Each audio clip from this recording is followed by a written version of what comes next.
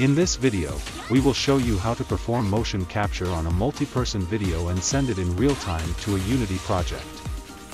We will use a video player to play the video and then use two instances of OBS to capture the screen, each capturing a different section of the video. Then, we will use OBS virtual cameras to input the captures into two separate mono instances, which will parse the motion data and send the results to the same scene in Unity. First, let's discuss some shooting considerations. Whether you are doing real-time multi-person motion capture or recording a video, ensure that the people in the video are spaced apart. For example, in this video, you can see a marker on the ground to help the two people maintain their distance. Since the built-in virtual camera in OBS only supports a single output, it cannot meet our needs for outputting two different screen captures simultaneously. Therefore, we need to install a plugin from the web. After correctly installing it, you will see a new virtual camera option in the Tools menu in OBS. This is different from the built-in Start Virtual Camera function located at the bottom right of the OBS interface. First, let's play the video using a video player. Next, open two instances of OBS. When you attempt to run the second instance of OBS, a dialog box will appear. Click Launch Anyway. In OBS, add a window capture source and select the video player window.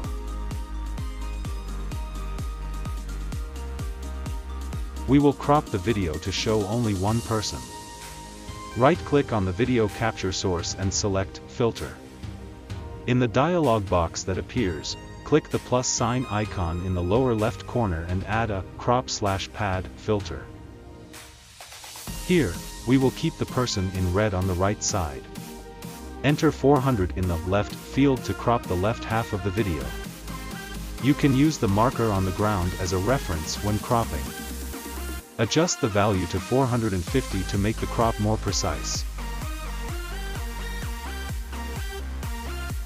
Move the cropped video to the center and scale it up for better capture quality.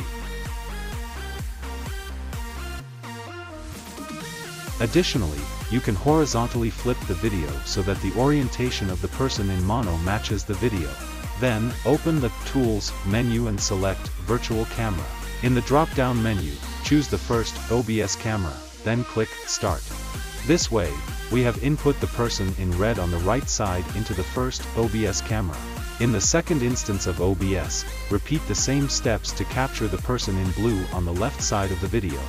Again, add a window capture source.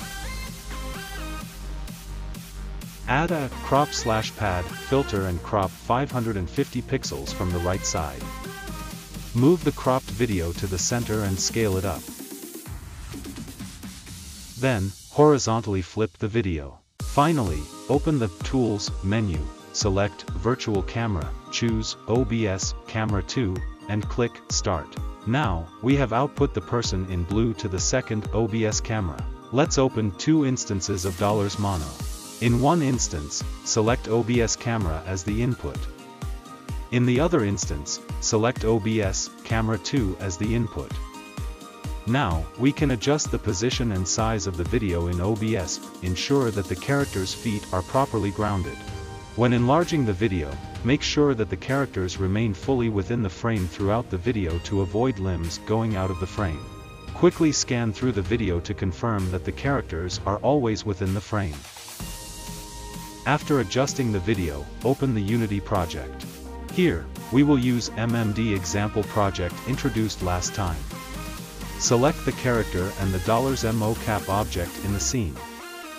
Right-click and select Duplicate.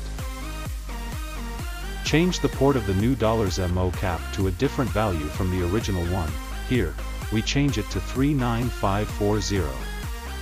Make sure the SRC variable in the new character's mocap SRC component is set to the newly duplicated dollars $mocap.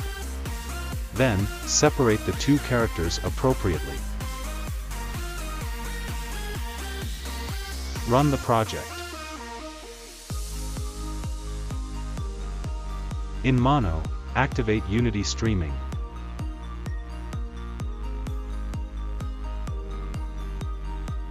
And change the port of one instance to 39540. This way, each mono instance sends data to a different character. Now, you can further adjust the video in OBS and the positions of the characters in the scene to ensure natural body contact. Finally, play back the entire video, and you will have the corresponding character animation.